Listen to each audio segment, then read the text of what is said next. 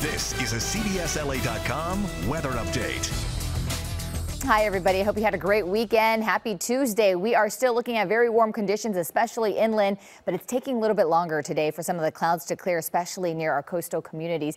And that's because we still have uh, an eddy circulating right off the coast. So out the door right now near the airport, 68 degrees with the breezes picking up, coming in about 13 miles per hour. In the background, you'll notice that we do have partly cloudy skies over the mountaintops, and that's because we have some mid-level moisture also moving in. That's going to bring some unstable air as we head into the afternoon. So there is potential potential for some isolated thunderstorms to trigger as we head into the next few hours. So that's something we're going to continue to watch. Temperatures over the mountains right now, 70 degrees. It's already triple digits for Palm Springs, 81 for San Bernardino, 93 for Lancaster, and low 70s for downtown LA. By tomorrow, we're going to start a cooling trend that's going to stick around for the next couple of days as a low pressure system gets closer to us. That's going to spin in cooler air and also that marine influence. But as it moves away from us by Friday, we're going to start a warming trend all over again just in time time for the weekend. So highs today still pretty warm 60s, 70s and 80s. And by tomorrow, we're looking at temperatures mainly dropping to the 60s and 70s because of that low pressure system. That May gray